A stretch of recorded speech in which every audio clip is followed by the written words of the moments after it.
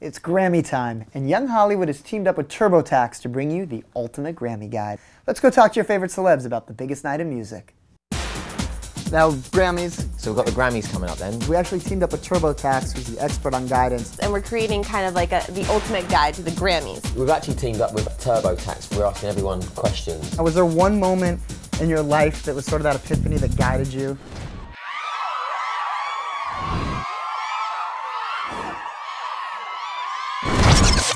Hey guys, Tatiana Diana here with Young Hollywood and TurboTax, continuing our Grammy guide journey with LaRue. How are ya? I'm good, thank you. How are you? Hey, happy birthday! Uh, thank you. It's also tax season. Have you done your taxes?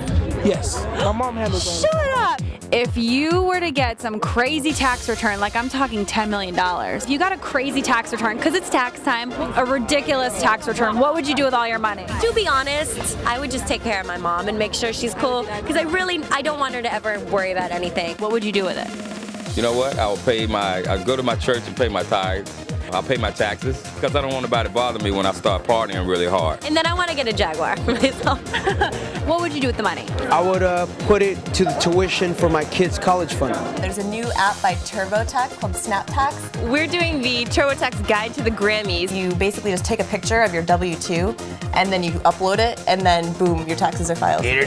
I was always influenced by what I, I loved. I was influenced by Digital Underground. The Humpty Dance is a dance, dude. the. Who doesn't love that song? Hey, baby, Do the Humpty Hump. So I need your guidance here on who's going to win Best Album of the Year. God, that's tough. Do I have to choose? They're all so good. Eminem's got a good track record. Lady Gaga will probably win. As a personal choice, I would definitely pick Arcade Fire's There you go. If you were to pick like Best New Artist, I find it tricky when I'm asked this question. It's a tough year, but I, I just hope that Black Eyed Peas won a couple. They're, they're having a good year. What are your predictions? I love all music. so if you were to create the ultimate Grammy mashup, If you could see any two artists perform together on the Grammy stage, John Mayer is always good with anybody. Yeah. On screen and off. Yes. Moby and uh, Lady Gaga. Have you got the Bieber fever? Absolutely. Love you guys. You guys are amazing. And thank you for hanging on Young Hollywood. So TurboTax are experts on guidance. We've partnered up with uh, TurboTax. We've teamed up with TurboTax, Young Hollywood has teamed up with TurboTax. which is the official Grammy guide. Who in your career has guided you guys throughout? Oh, man. A lot of people. Who's helped you with your journey with music? Oh my gosh. You know, did you have someone during your career that kind of guided you along? Who's guided you in your career? Just learn from situations that happen and try and, you know, use it for the better. I mean, Stevie Wonder's helped me in my journey. the support from mm-hmm. everywhere. Was there any one moment that sort of guided you? Sort of that epiphany that guided you. It's every moment is a lot of hard work. they kind of made it all happen for us.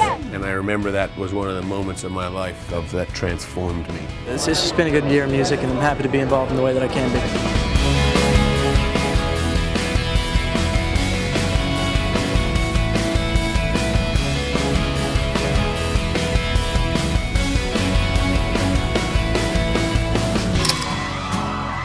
Music's like food. I mean, why just listen to one type of food?